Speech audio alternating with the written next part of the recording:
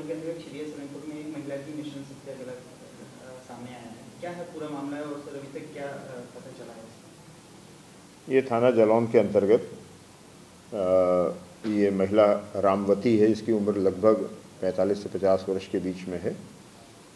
ये road side पर एक जगह दुकान रखे हुए है, गाँव थोड़ी दूर है, वहीं रहती है अपने एक तेरह चौदह साल के बच्चे के साथ।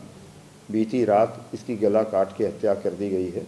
ये जहाँ सोने का स्थान है, उससे बगल एक छोटी सी दुकान चलाती है रोड साइड, वहीं किचन है इसका। वहाँ पर इसकी डेड बॉडी मिली है आज सवेरे। जब इसका देवर वहाँ पर आया घर पर, तब तो उसने पॉइंट आउट किया।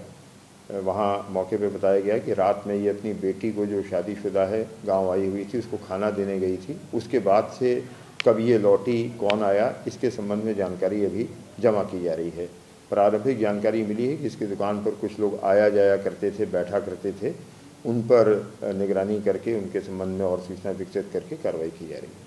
कोई सर इसके अंदर लूट की भी कोई संभावना लगी है कि घर से कुछ सामान जो गायब हुआ है जो जेवरात वगैरह ऐसा कुछ मामला जो स्तर है घर का और ये टेम्परेरी सेटलमेंट है इनका गाँव का घर अलग है। ये छोटी सी दुकान खोल रखी है इसका पति बताया गया कि घर छोड़ के, गृहस्थ जीवन छोड़कर बार बार कहीं बाहर चला जाता है। अभी भी ये बाहर गया हुआ है तो और जानकारी जमा की जा रही है।